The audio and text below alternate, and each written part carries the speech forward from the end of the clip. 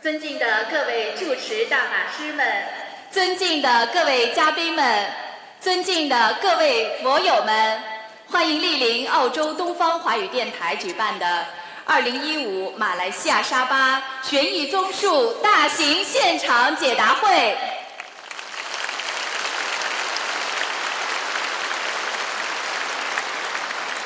卢军宏台长作为世界和平大使、世界华人的心灵导师，弘扬人间大乘佛法，广度天下有缘众生。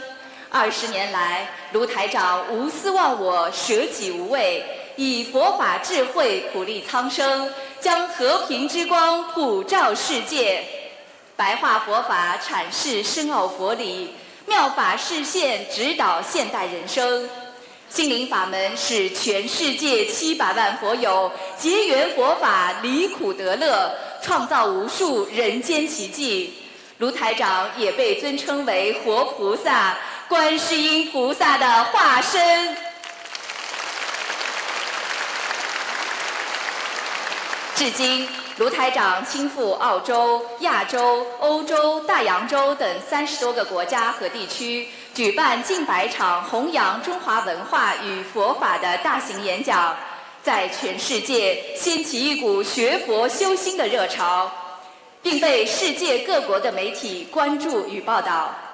作为佛法的集大成者，人类灵魂的心灵导师，卢台长为世界和平与文明发展所做出的突出贡献，受到世界各国的关注与认可。二零一二年，卢台长受邀赴哈佛大学弘扬中华文化，并获得在英国伦敦举行的世界宗教联合大会授予世界和平奖与世界和平大使殊荣。卢台长还在英国国会上议院获得颁发英联邦民族社区特别贡献奖。二零一三年，德国柏林全球文化外交峰会为卢台长颁发世界和平杰出贡献奖。二零一四年，意大利久负盛名的锡耶纳大学任命卢台长为荣誉客座教授。在美国国会举办的世界和平峰会上，卢台长再次获得世界和平大使殊荣。并在联合国倡导的全球和平文化峰会上获颁世界和平教育大使奖。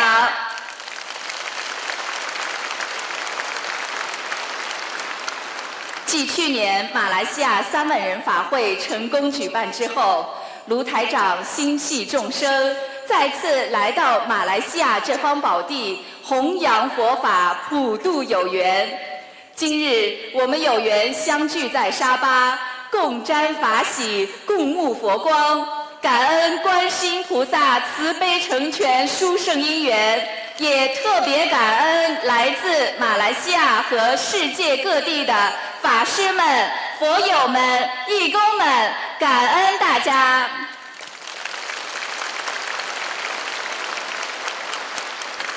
现在，让我们用最热烈的掌声，恭请尊敬的卢军宏台长。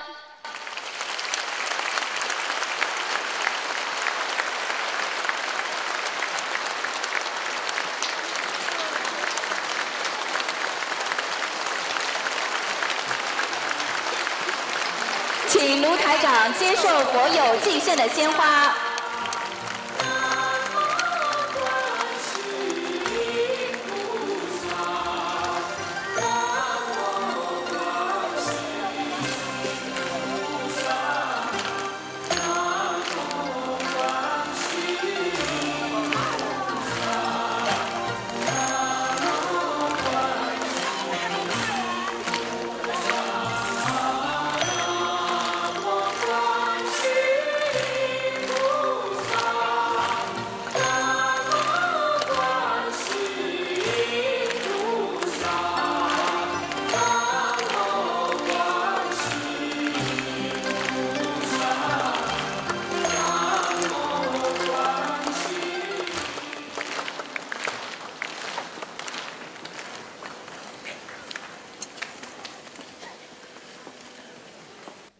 刚刚迎来了二零一五年，希望新年给我们带来好运。感恩大慈大悲救苦救难的观世音菩萨、龙天护法，让我们有缘在沙巴相聚，共赞法医，法喜充满。谢谢。感恩各位嘉宾、法师和来自全世界二十多个国家和地区的佛友们和义工们，新年新气象，祝福大家身体健康，广度有缘，万事如意，功德圆满。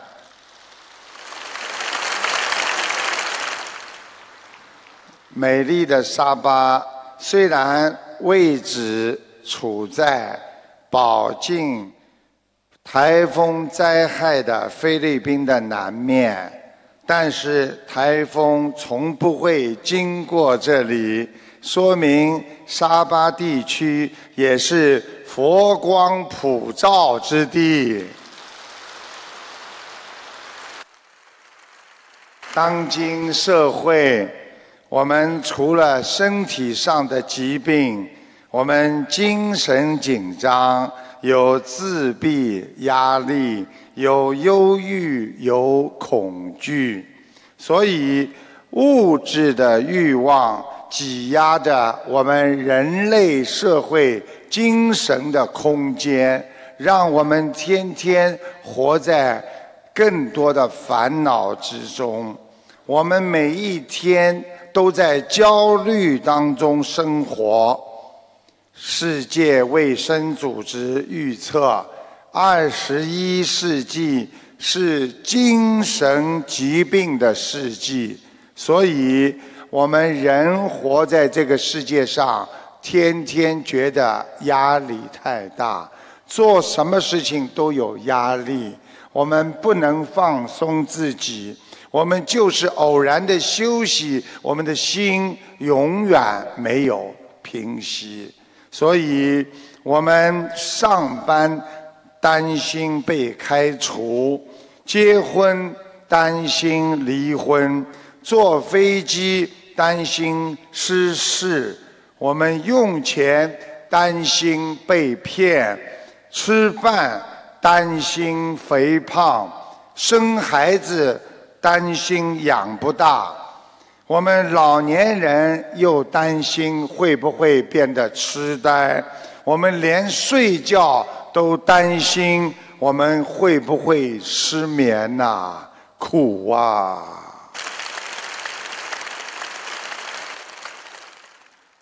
我们心灵活在这个世界上，因为不正常。所以就会导致你的精神方面的不正确的判断。所以现在为什么家庭的纠纷多？因为每一个人的共业是自私啊！因为先生为先生想，太太为太太想，想一想都是为自己在考虑。怎么能够和谐？怎么能够和平啊？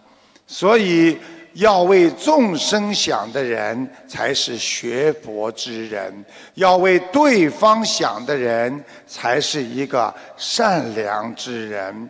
台长告诉你们，精神的压力造成精神的不正常。我们要学佛，要念经。会让你的心情开朗。我们要懂得知因懂果呀，因为我们不知道上辈子造的孽，所以我们这辈子就会觉得冤枉，觉得难受啊。如果我们知道自己过去的因，我们一定会懂得现在的果。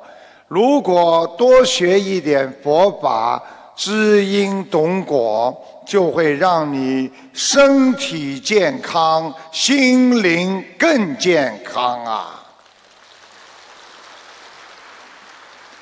在澳大利亚有一位佛友，他从小在喉部长了一个小的瘤，那么医生呢就跟他预测说，长大之后这个瘤可能会变成癌症，有病变的可能。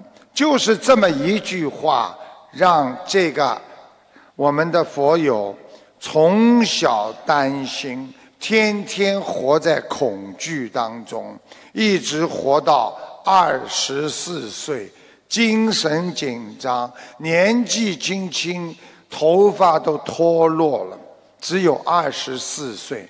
现在学佛了，他懂得了。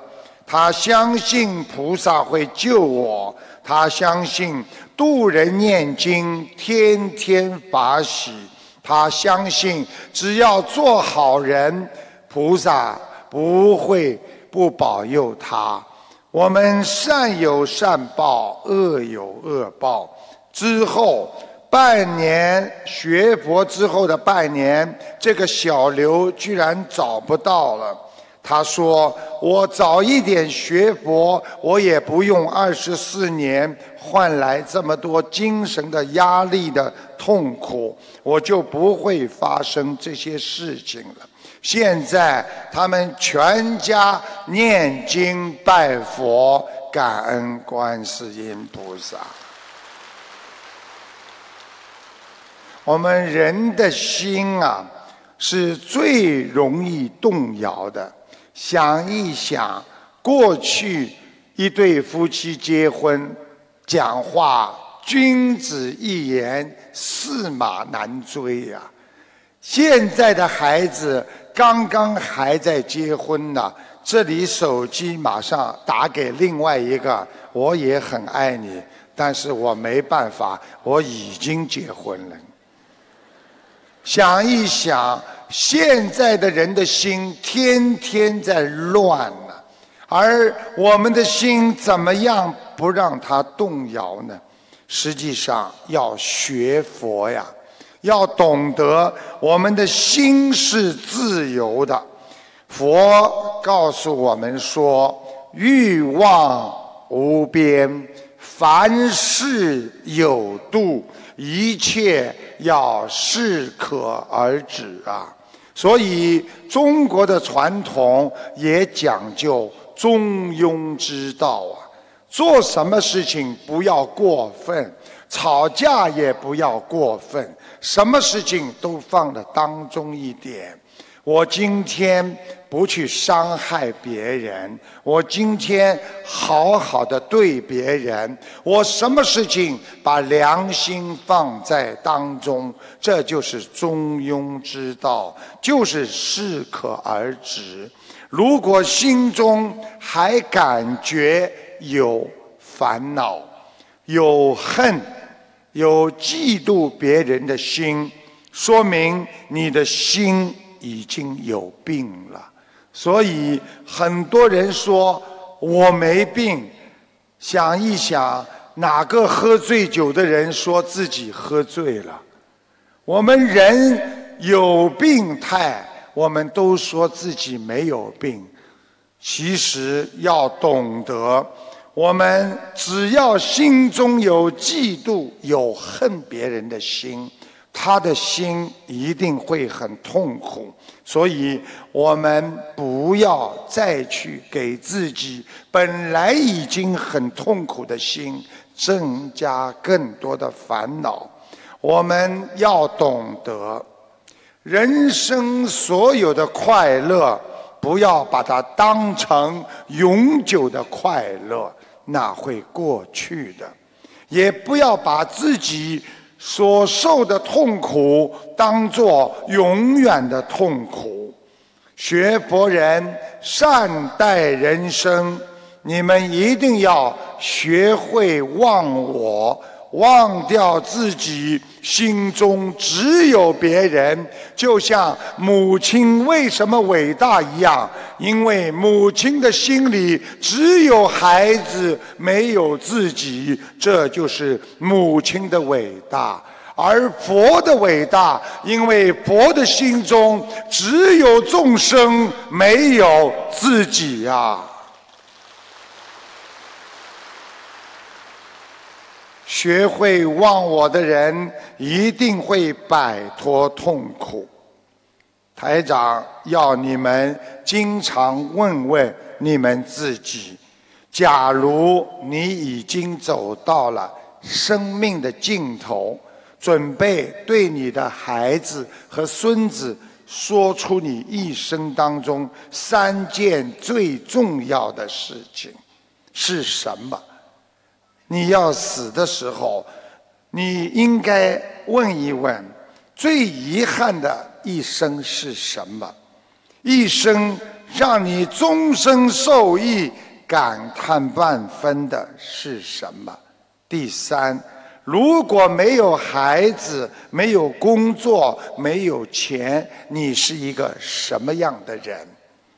如果一个不学佛的人要死的时候，他最遗憾的，他会说：“我没有让我的儿孙多赚钱呐。”如果一生让你终生受益的是什么？他会说：“这个世界上没有一个好人，都是他们对你好，做任何事情都是有目的的。”第三，如果没有孩子，没有工作，你是什么样的人？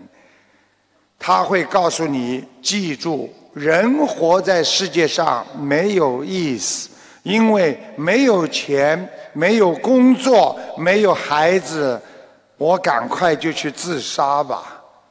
想一想，听听学佛人的是怎么说这三句话的。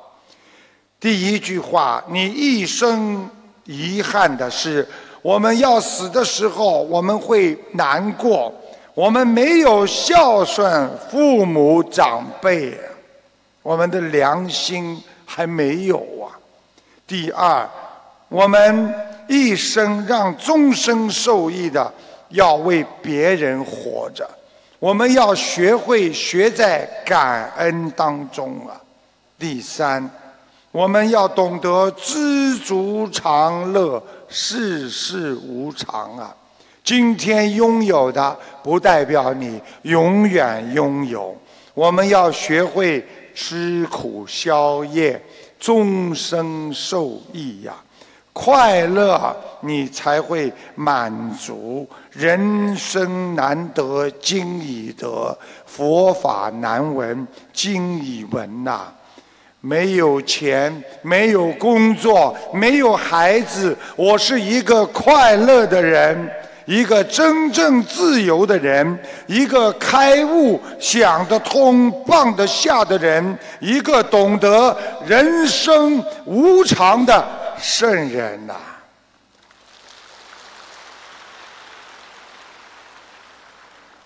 有一个精神非常忧郁的人，他坐在咖啡馆的角落里。一个老人看着他很痛苦，这个老人走上前去说：“小伙子啊，你一定是遇到什么难题了吧？如果你愿意，我愿意帮助你。”这个小伙子冷冷地看了这个老人一眼，他说：“你帮不了我的，老先生，我的问题太多了。”老人掏出名片说：“如果你相信我的话，我会让你想通。我想带你到一个地方，你能跟我去一次吗？”结果这个小伙子就答应他了。这个老人家就带着这个小伙子开车坐到了郊区一个一个地方。下车之后。这个老人家指着一排的墓碑说：“小伙子，你看见了吗？只有在这里的人才会没有问题呀。我的孩子也是经不起人间的风浪和烦恼，自杀，提早离开了人间的。这时候，年轻人的眉头松了，他把他的难处一一向老人家诉说。人生是一个不断遇到问题并不断的解决问题的一个过程啊。实际上，我们到了这个人间，只是一个过程。记住了，只要你活着，问题永远不会解决，也永远不会断的。只要用智慧，才能解决问题。你才会得到快乐，懂得果报。我们今世之苦是上师上一世没有修好，今世的福报我们不嫉妒别人，是别人上一世的积福积德呀。用佛法的智慧人生，你才会真正的幸福。只有懂因果，你才会生活呀。如果在报纸上看见有一个人中了几百万的大奖，大部分的人会想，说不定我也有中奖的机会，所以才会有越来越多的人去买彩票。当报纸上看到有人出了车祸，大部分的人会想：这种倒霉的事情怎么可能在我的身上发生呢？这就是人性的两大弱点：贪心和侥幸的心理。不学佛的人永远会贪。因为他不知道贪心会让你变得越来越愚痴啊！不学佛的人，他会有侥幸的心理活着，可能没有问题呢。我们不能掌握自己的命运，就是在残害自己的慧根呐。我们要控制好自己的感情，我们才能。烦恼去除，痛苦不在啊！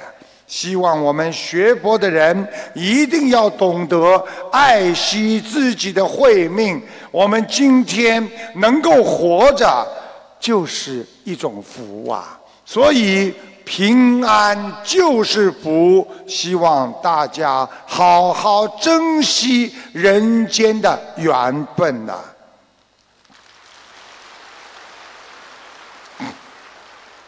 台长经常跟大家讲，为什么有的人觉得活得很幸福，有的人活得非常的痛苦呢？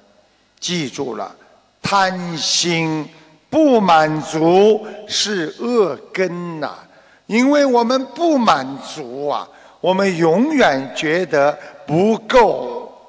学会几句话。对你们今后的生活会有很大的帮助。经常说“我够了，可以了，我满足了”，会帮助你排除很多心理障碍，找到事情每一个事情的优点，会帮助你排除每一个事情的缺点。有一个父亲拿出两个苹果，一个很大但是很酸，还有一个很小但是很甜，给两个孩子，两个是姐妹，一个姐姐很自私，这个妹妹呢很随缘，妹妹呢经常快乐，这个时候呢姐姐呢一吃大苹果不开心了。怎么这么酸呢？妹妹呢？一吃小的苹果，哎呀，真甜，真开心啊！姐姐一把把她的苹果拿过来，把那个大苹果给妹妹。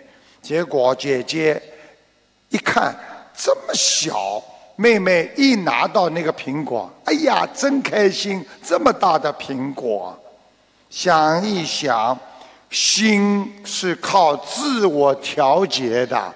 一个人开心和不开心都是靠着自我调节的。所以，同样一件事，你能看到不好的事情的优点，就是正能量的心态。如果一个人看谁都讨厌，不管看见谁，先找别人的缺点，那他就是负能量的表现。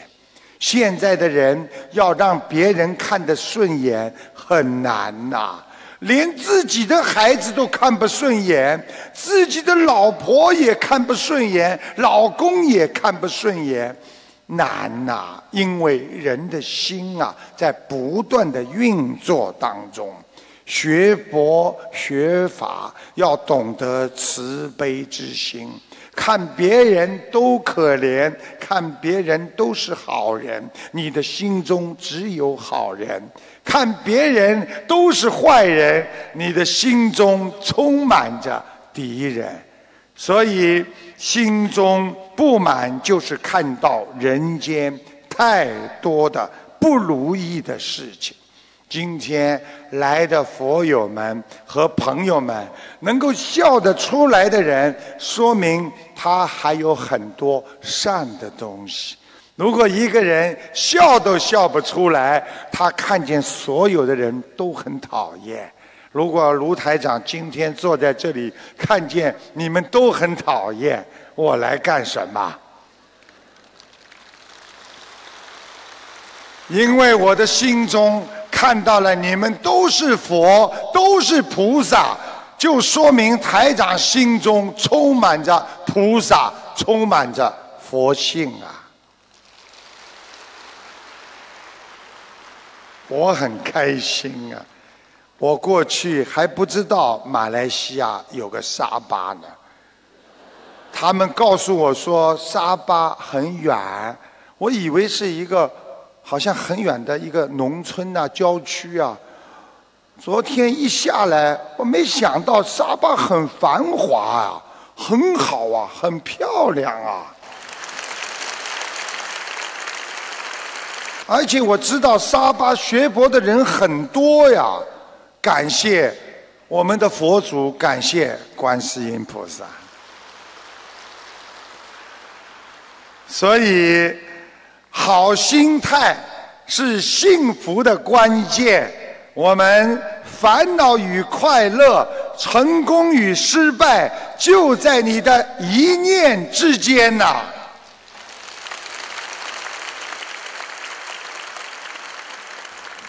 台长经常在。节目当中啊啊，每天在回答广播里回答很多人打进电话来说要台长来看图腾。实际上，包括今天也有很多人，最好前面都不要讲，就听听台长。哎，帮我看看我爷爷在哪里，我祖宗谁谁谁在哪里，啊，我的家里我的孩子今后怎么样，都喜欢看这些。台长呢？看到过一个七十多岁的老妈妈打进电话，就是前几个星期啊，请台长看图腾。台长看他脑子还清醒，但是腿不好，眼睛不好，鼻子不好，而且看出他的腰摔过之后没有矫正，站久了就会酸痛。也说他的肠胃不好，还掉头发，心脏不好，胸闷。台长还看出他晚年骨头不好，老妈妈马上承认自己有骨质疏松。我想把这段录音放给我们大家听一下，谢谢大家。卢台长，那个我是北京，我我是属兔的，一九三九年的兔。啊，挺好的。呃，你这个老人家神清气爽啊，脑子灵的不得了。啊，对。但是两个腿不好。啊，对对对，关节不好，还有告诉你那个眼睛不错，鼻子不好，啊，知道，还有腰不好。啊，对对对，我摔过。我告诉你，根本没有矫正过。嗯，对，没有。啊，所以你现在这个腰部这个腰椎啊，稍微有点弯，所以你站的时间久了，你这个腰就会酸。啊，对，是。啊。是的。而且你坐了久了，腰也会酸。嗯，对对的。啊，还有肠胃也不好。啊，对对是的。还有呢，头发有点掉。啊，对。啊对。还有要注意，你心脏不是太好，啊对，您说的对，太对了，所以你就呼吸就觉得特别累，特别特别闷呐、是是的，你这个人寿很长，但是的晚年呢，哦是的晚晚年的骨头非常不好，骨头，比方说手手臂呀、骨质疏松，骨质疏松，嗯还有手臂手臂呀、酸痛，哎，对对对，啊，还有肩膀酸痛，都是骨头问哎，题。是的，是的，您说的真对，谢谢。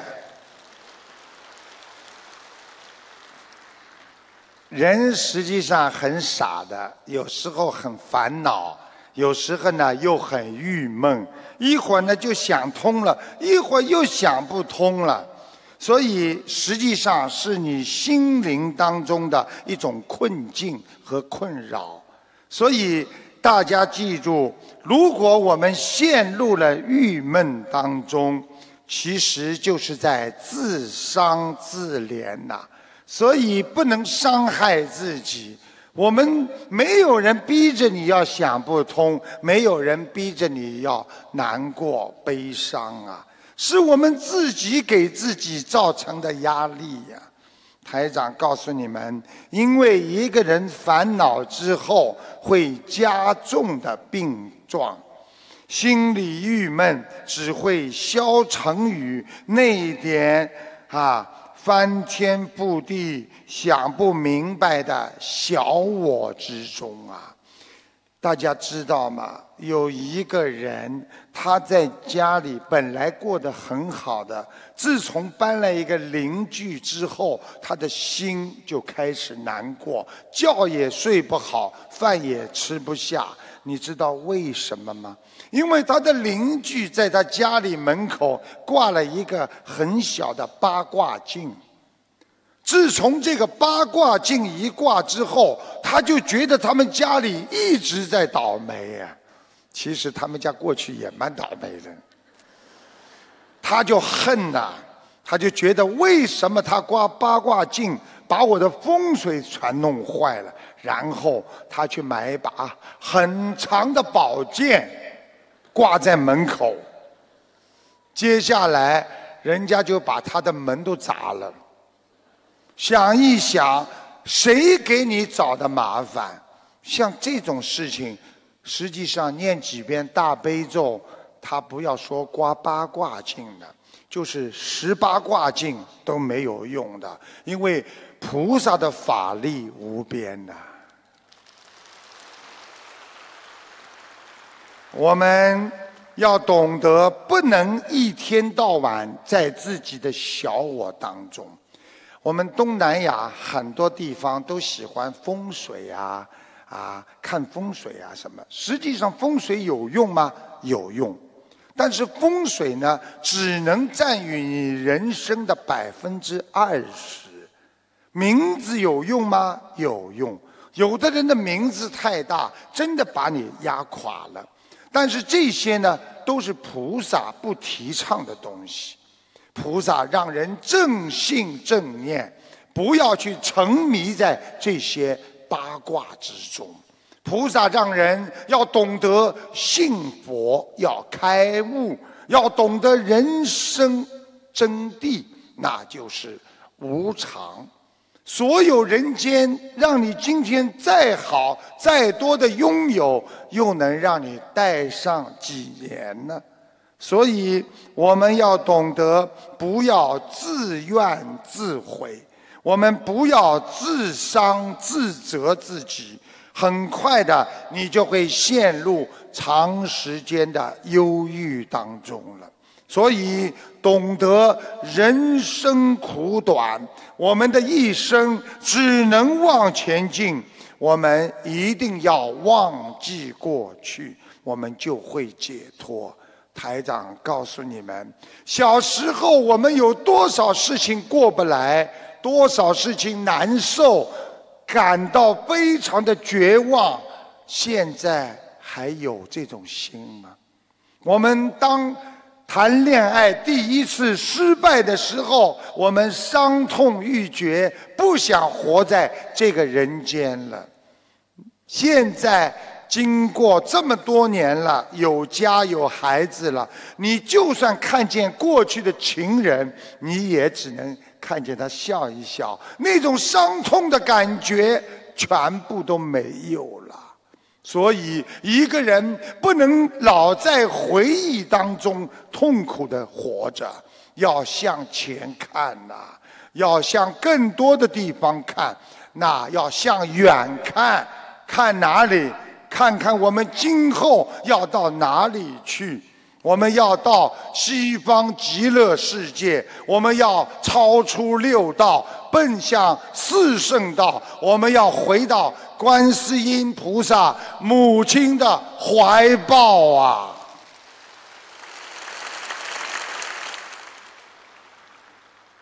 在有一个农村呐、他有一种十分奇怪的风俗。当一个人死的时候啊，他们这种风俗很好玩的。他们呢，家里人呐、就会为他把衣服穿上最华丽的衣服，然后呢，口袋里给他藏很多的钱，给他头上戴个帽子，脖子上挂上金项链，两个人一两个人呢站在尸体的两边，一个人呢代表着主人，还有一个人呢就代表着死人，然后呢两个人就是开始对话了，很好玩的。他们怎么对话的啊？他们说两个人对话。你生下来有没有带钱到这个世界啊？那个死人就回答了，没有。他们马上就把尸体穿的衣服当中口袋里的钱全部拿出来，他们这样很好玩的。然后又问你来到这个世界有带来金首饰吗？那个死人又说了没有。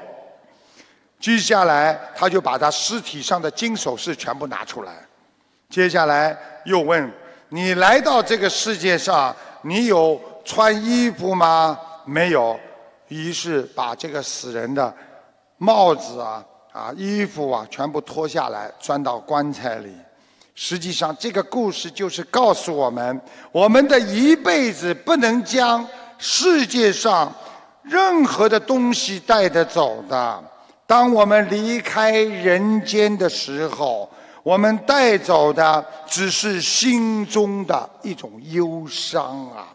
所以我们不能把忧伤带走，我们要带走我们的善良的心，我们要带走我们的慈悲，带走我们的感恩的心啊！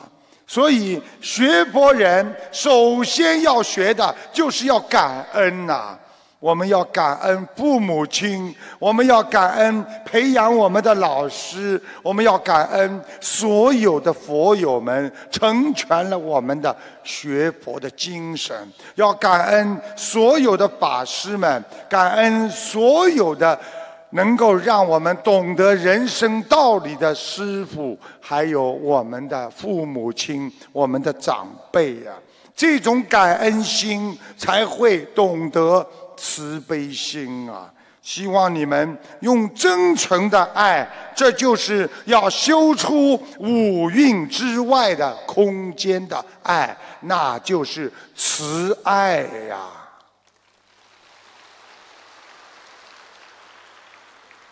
在人间，我们找不出任何完美的事情的。记住了，能够想通了、想开了，就是完美啊！所以人间做事情顺利，就叫完美啊！我们今天做一件事情能够顺顺利利，就叫完美。顺利靠的是什么？你们知道吗？靠的是缘分啊！我们顺利就是随缘的人。一个什么事情都能够随缘，这个人就是无所谓，你做什么事情都会顺利。今天太太跟你说叫你做什么，好没关系，可以呀、出去好啊，会有什么矛盾发生啊？就是不随缘，什么事情都要有个我。哎，我们出去好吗？不出去。为什么今天要出去啊？啊？你今天对我好一点，是不是想明天又出去约会啊？台长经常说一个笑话，因为我沙巴没来过，所以我再讲一遍给你们听听。有一个女人嫉妒的不得了，什么都要嫉妒她老公，每天回来要检查她老公身上有没有香水呀、头发呀，天天要检查。有一天什么都没检查，她又叫了：“啊，你这个人怎么这样呢？”老公说：“你什么都没发现，你为什么还要不开心啊？你这个不要脸的，你连秃顶的女人你都要了。”记住一句话。我们见人见事情，不管什么事情，靠的是随缘。如果能够无所求，你才会无所不有。我们不求，什么事情都会有。当你有所求的时候，你就会无所不求，你什么都要。养成一种习惯和品质，见人见事情，总是去发现人的美好的一面，会增加你的信心和感恩心啊！我们将这种发现要成为一种习惯，看见别人，先把别人往好的地方想，你的心态就会善良。看见别人就把人家往高深的地方想，你的境界就会越来越高。人的境界与行为完全有赖于你的境界呀！记住，我们要拥有更多的平等心。我们心才会放平，一切风平，一切才会风顺。所以，要想达到一帆风顺，心要静，意要明。我们真正的开悟，就是想通、想明白。我们的孩子是讨债还债来的，我们的父母亲那是来还我们的债的。我们在人间所受的痛苦，那是我们上辈子欠的。有了这种心态，你才能好好的过完你一生啊！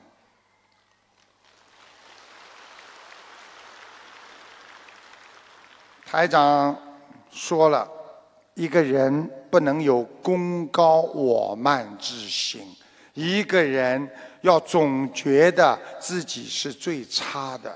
学大海，海纳百川，要懂得大海这么伟大，永远处于地最最低处。如果你总觉得自己是最好的，这就是拥有烦恼的开始。所以，人不要以为自己是最好的，就是评论别人，你们。就是给自己带来无限的烦恼。想一想，如果你天天评论自己的太太的毛病，接下来太太一定会给你找出你更多的毛病出来。所以，我们其实要学会一句话：己不正，焉能正人呐？一个人自己要正，你才能。教导别人，所以评论别人本身就是一种过错。同样，看不起别人也是一种错误。心灵法门台长从来不评论任何一个法门。台长认为，所有的法门都是好的，都是救人的。所有的法门就犹如医生一样，各个不同的医生在救度不同的病人一样。我们选择一个适合自己的法门，就是你最好的法门。所以，尊重其他的法门，才会让你心无挂碍，无挂碍故啊。台长讲一个小笑话给你们听听：马路上有一条警犬在走路，一个狗啊。他看见马路上有一条普通的狗，看不起他，结果他就气势汹汹的去质问他，跟那个狗说：“我是警犬，你是什么东西啊？”结果普通的狗不消一顾着看着他说：“傻瓜，看清楚点，我是便衣。”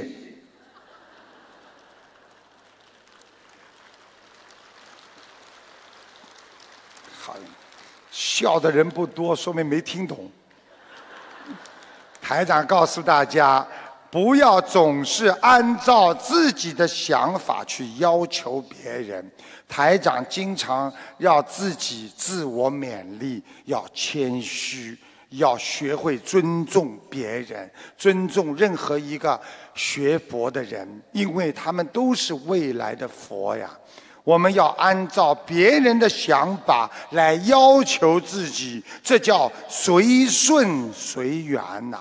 不为他人想，你永远得不到你想要的东西呀。所以，一个人活着就不停的要为别人想，你就会得到很多你要的东西。活在世界上，任何事情本身没有好坏，是因为。我们人对事物的发展的执着心，才在心中分出好和坏。烦恼是执着而来的，痛苦也是执着的果果呀。想不通就会得愚痴啊，就是因为不能换角度来思考问题。执着就是业障的根呐，所以希望大家要懂得，学佛人绝对不能执着。我们对任何事情都要从好坏两个方面来看。在清朝，有一大户人家，有一个少爷，他天天衣来伸手。饭来张口，过日子，他身心愚笨。有一天早晨，他刚刚起来，懵懵懂懂的东张西望，突然看见一个丫鬟在整理房间的女佣人，他一把把她拉住了。他问：“昨天夜里，我梦见了你。”但是你梦见我没有啊？那个女佣人说没有啊。什么？明明我在梦中梦见你，你为什么还要当面跟我撒谎啊？吵吵闹闹的时候，老夫人来了。老夫人见了这个公子，公子就告状了，说我明明见了他。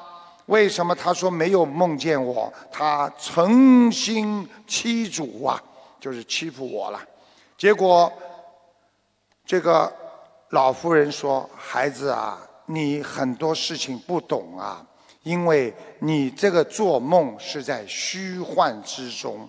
我们人活在这个世界上，就犹如公子活在虚幻的世界当中，那是一样的感觉呀。”因为我们把人间当成我们永久的家，当成永远不会离开的地方。实际上，人间是虚幻无常的这个地方，是让我们来还业债的地方。所以，我们永远不能把它作为一个实实在在的世界，它是强加给我们的一种幻觉呀。犹如一个人想不通，他生气的时候，你还要别人跟着他一起生气。我们小时候经常想不通，现在大了都想通了。台长告诉你们，我们今天还有的烦恼，等到我们五十年之后在哪里呀？我们小时候十几岁的烦恼，现在又到哪里？人生苦短，想开想明白那是智者；人生苦短，能够破迷开悟者那是智慧。学佛的人那是有根气的，他们就是跟佛有缘。我们活在人间，靠着缘分在生活。今天我们不要恨别人，因为我们都是有缘众生。希望大家好好的珍惜善缘，对所有的长辈要像自己的父母亲一样看待，对自己所有的孩子，世界上的孩子都要把他看成像自己的孩子一样，这才是佛的境界。尊敬众生。爱护众众生，我们才能在众生当中成长，我们才会拥有菩提心啊！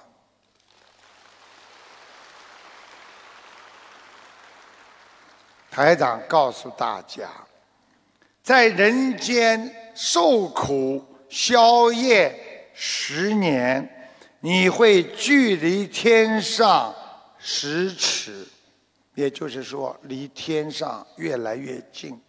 你在人间享乐挥霍十年，你距离地狱只有十尺啊！凡事要站在别人的角度为别人想，你就是慈悲呀。在人间，你太看重什么，你就会成为他的奴隶呀。你看中的钱，你就会成为钱的奴隶；你太看重这个人，你会成为他人的奴隶呀。很多父母亲一辈子为孩子，不就是为孩子的奴隶吗？想一想，修心就是要把这颗心修好，把人间什么事情都不要看得太重。要懂得存放在心里，把心里善良的全部拿出来，把心中的恶全部要去除，这样你的心就会越来越善良。台长告诉你们，人的心就是一个包，你装什么，他就拥有什么。所以，不要让自己这颗心装上太多的烦恼和肮脏啊！要装上慈悲和感恩，这样你才会得到菩提心啊！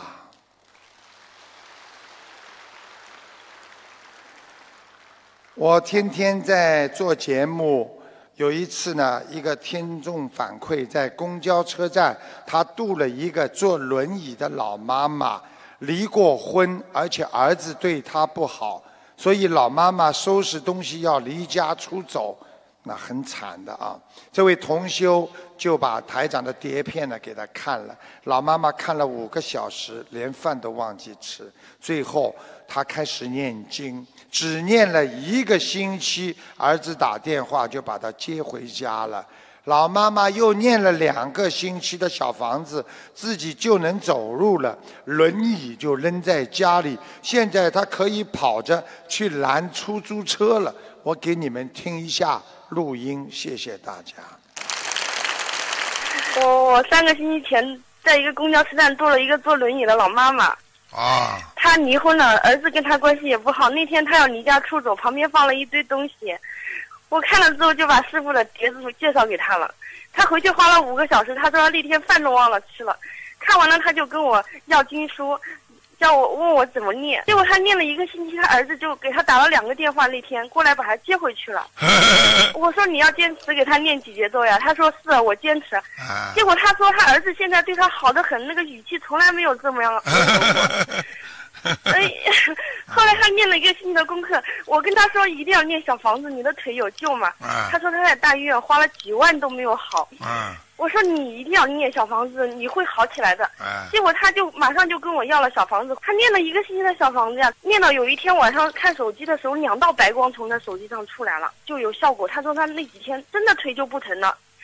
嗯，他现在念了三个星期的经。念小房子两个星期，他这个星期在马路上轮椅完全就不要了，在家里了。他打的还跑着去拦的士，他很高兴。他说他现在，他天天除了念经，只要一有空就念经，念的经常什么都忘了。现在你知道了吗？为什么台长会在法会上叫人家就站起来啊，走路啊？现在知道了吧？对，我要继续去努力的去帮助别人。啊，谢谢。我们在人间呐，越想要的事情啊，它离你越远。你越不要，它就离你越近。你真的要的时候都找不到，他不来的。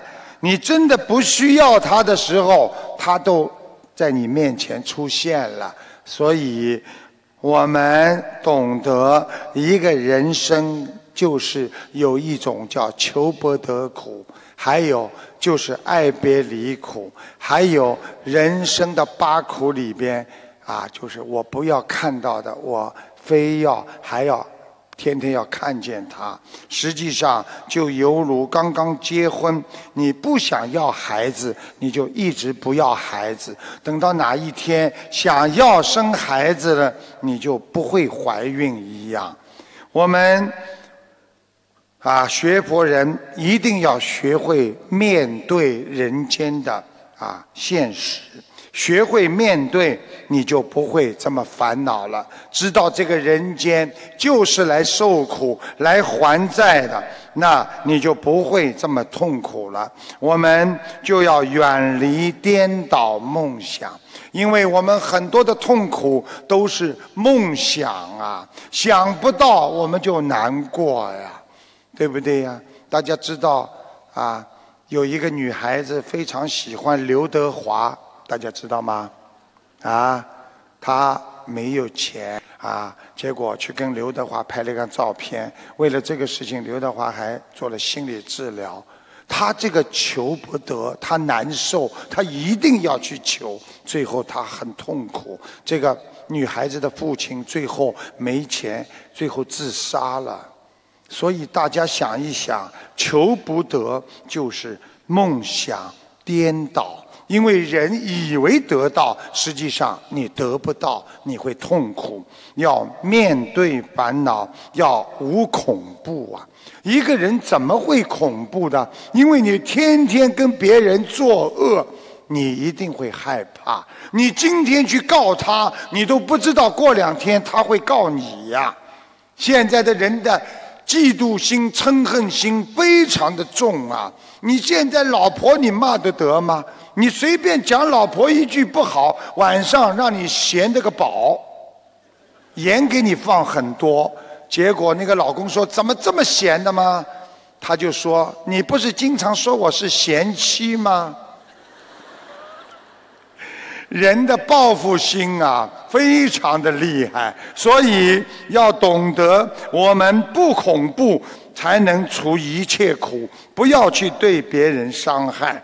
人间种种的苦难要渡过去，就叫渡一切苦厄，不要让它生成。什么叫生成？难以生成，就不要让他去把这个灾、这个难、这个恨、这个嫉妒心，让他去生成，你就不会有苦难需要去解除它。这就是不生。不灭呀！没有智慧，什么也得不到，所以无所得。这就是无智亦无德，以无所得故啊！天天在念经，好好的理解理解吧。人心能制造出善良，也能制造出邪恶，所以万事唯心造。今天有个好的心态，把别人都看成是菩萨，你活在菩萨中间，你就是活在极乐世界呀。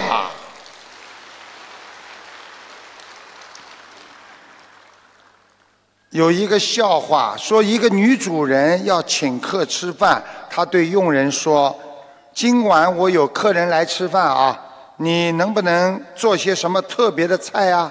这个佣人跑过来说：“太太，你是要客人们今天晚上吃了之后再来呢，还是要他们吃好之后永远不想再来吃了？”这个笑话就是说明一个人的心啊，可以使人成佛，也可以使人成魔呀。所以要记住，心悟成佛，悟就是开悟。当一个人开。悟之后，你就成佛了。心迷成魔，一个人心中一迷惑，这个要那个要，那你就变成魔了。要降服自己的恶念、恶心，找回本源。我们人是善良的，佛陀说啊，这个人呐、啊，那个啊，那个，我们佛陀当时刚刚啊出生的时候就说啊，开悟之后就说了啊，世世人皆具佛性啊，就像我们孔老夫子讲的啊，人之初性本善一样。所以，我们怎么样要让自己把本来的善良的东西找出来？你们知道吗？当一个人恨别人，就相当于一个电脑的 anti-value，就是那个病毒。你恨别人，你病毒就进来一点；我嫉妒别人，我又在心中又有一个病毒。然后我又愚痴做错事情，我难过，我后悔，心中都是这些不好的东西。这个时候，时间长了，你的电脑就会死机呀、我们的心中装满的仇恨，装满的嫉妒，终有一天你的心脏会受到伤害的，心会受到伤害。所以希望你们要懂得做自己良心的主人，不要做贪心的奴隶呀、我们不能做奴隶，有欲望，你就是贪欲之魔，贪越多，魔就越多。所以良心就会留不住啊，因为你心中都是魔心，怎么会有良心呢？所以善心多的人，魔心待不待不住。希望大家广结善缘，做有一个良心、有一个慈悲心的众生啊。有一位年轻的作曲家去参加一个贵族的 party，一个会议聚会，那么很多都是伯爵、公爵，他们都是很厉害的。他们啊，看见这位年轻的这个作曲家，就嘲笑他，啊，好像看不起他，刚刚出来嘛。这个作曲家呢，就感到很自卑呀、他就跟他的朋友说了，说啊，我很难过，他们都看不起我。结果呢，他的朋友鼓励他说，在这个世界上，公爵很多，但自信的你只有一个。这个作曲家受到他的鼓励之后，就是成为后来的贝多芬。他写出了他流芳百世的音乐篇章。所以，人永远不知道谁哪次不经意的跟你说了一句话，这句话可能就会有能量，让你拥有一生的受益呀、佛告诉我们的一句话：知足常乐。所以，让我们终生受益呀、知足的人，那才会快乐。今天你们坐在下面的人，能够快乐的人，一定很知足。很多人还不满足的人，一定不会快乐。台长要你们学佛人的基础就是珍惜人生啊！因为在人间争斗只会增加仇恨，不能化解冤结呀、台长希望大家知足，减少争斗，长乐，拥有美好人生啊！珍惜每一个缘分。有一天，有一个人随便的和你说：“啊，再见了。”可能你这辈子再也见不着他了，缘分就这样断了，就没了。所以有缘分的时候要珍惜，等到真的无缘了，我们也不可惜。人生就是在无中生有，有中生无中，失去了一切呀。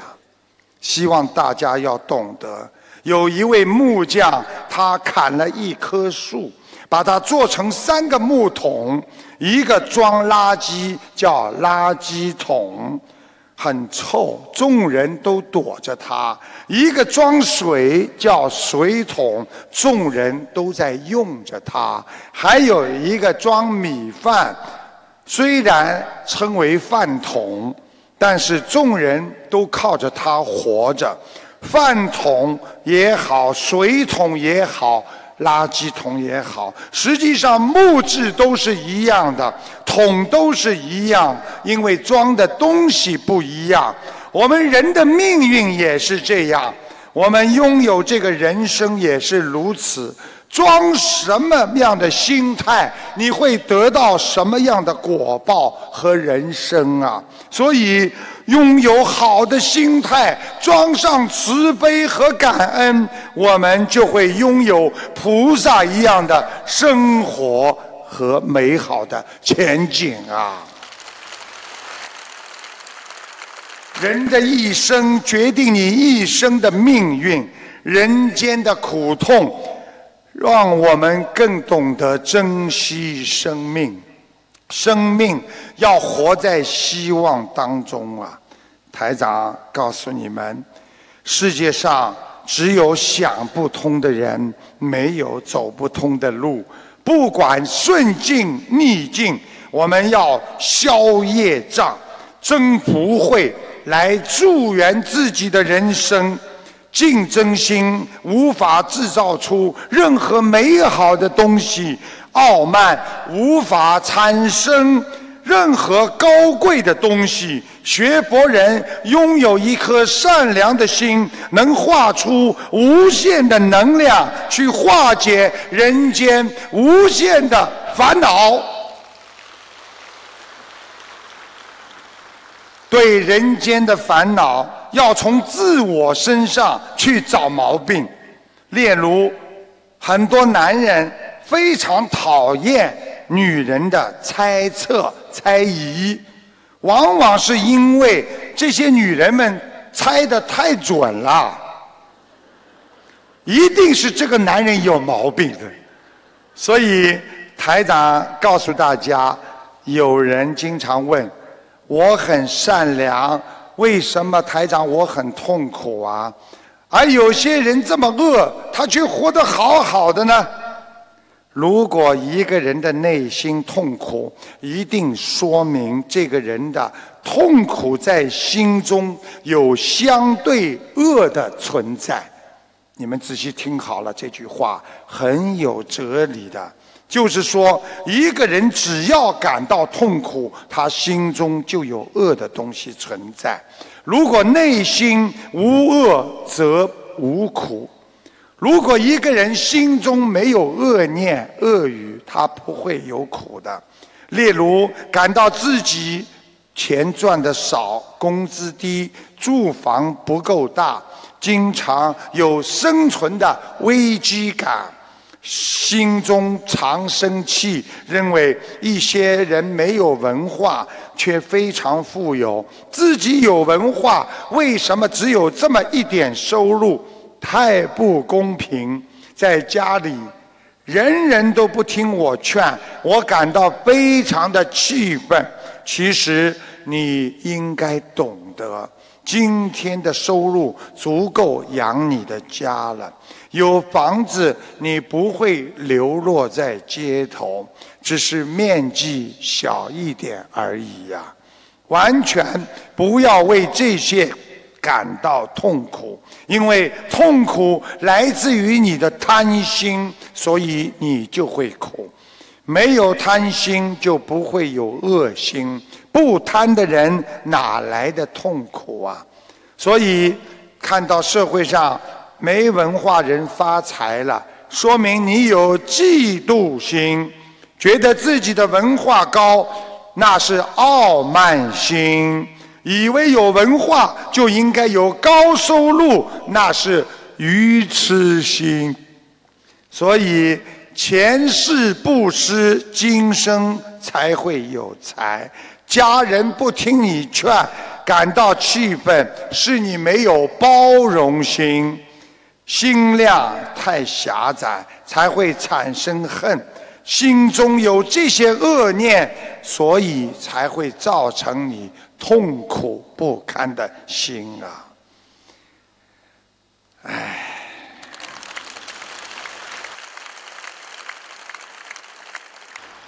人间呐，啊人间呐，所以。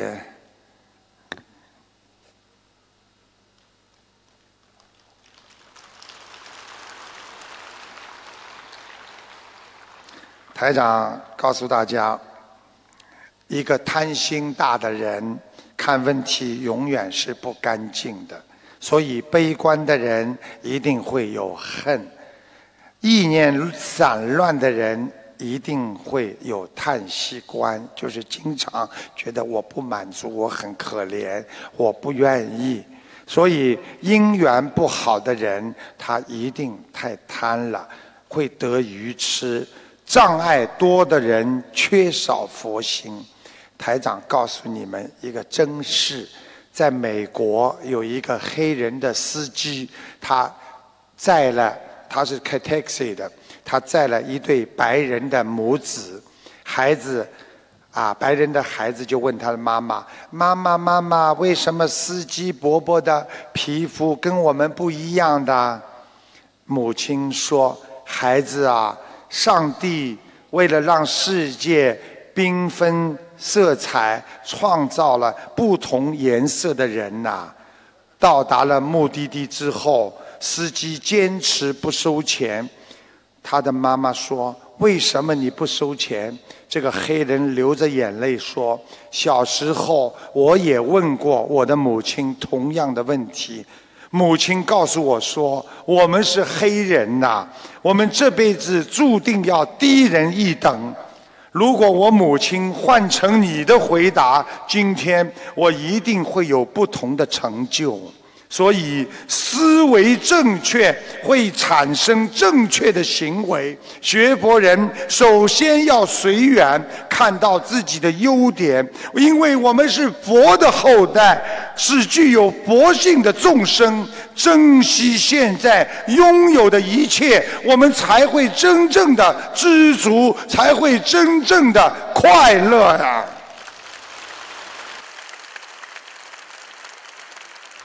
要想别人快乐，自己先要得到快乐。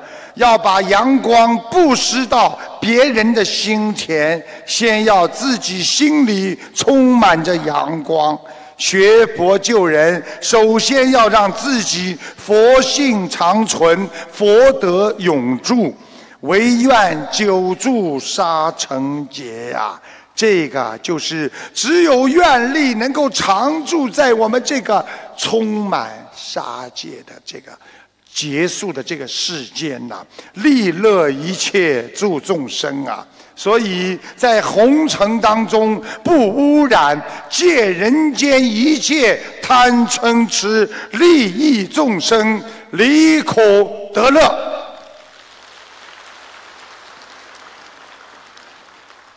有位哲学家曾经说过一句话：“人生就像一只鸟，不拼命的飞，它会摔死；拼命的飞，它会撞死。”所以，学会自己把握自己的命运，做任何事情不要过急，不要等暴风雨过后去承受。暴风雨带来的灾难，台长解释一下：很多人吵架的时候，不管三七二十一，最后面子拉不下才会离婚的。有多少夫妻本来不会离婚，因为面子，因为我这句话讲过头了，我收不回来了。希望大家一定不去承受。暴风雨之后的灾难，要在暴风雨来临之前就学会展翅高飞呀！学会自己太太要发脾气之前，赶快出去 shopping 买东西呀！所以佛说了一句话：人从。爱欲生忧啊！佛陀说，人是从爱当中和欲望当中才会生出忧愁的，从忧生危呀，从你的忧愁才会生出你的害怕，就是畏，就是啊畏畏，就是很害怕的意思。无爱即无忧啊！你不要去对这个事情欲望大啊，去死爱着这个事情，你就不会有忧郁。无忧即无畏啊！如果我没有忧郁，我一定是大无畏的。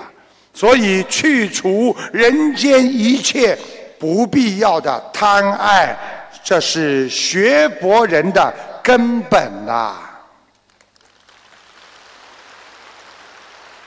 台长今天准备的太多了，因为来不及讲，很多人呢还要等台长待会儿呢看图腾，啊，想知道自己呢啊今后将来到哪里去了，爸爸妈妈在哪里，家里怎么样？但是台长要跟大家讲一下，看图腾是一个方法，不是目的。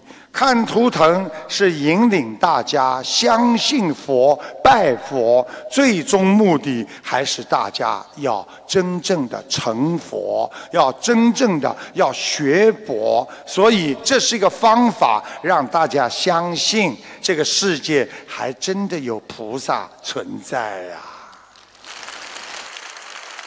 希望大家好好的学佛，好好的修心。你们都是未来佛，你们都是一个佛的种子，都是一朵莲花。台长希望我们五十年之后，或者一百年之后，都能在天上坐着这样地方一起开法会。聆听观世音菩萨、释迦牟尼佛、阿弥陀佛给我们开示啊！感恩大家，台长下去啊换换衣服，谢谢大家，感恩大家，谢谢法师。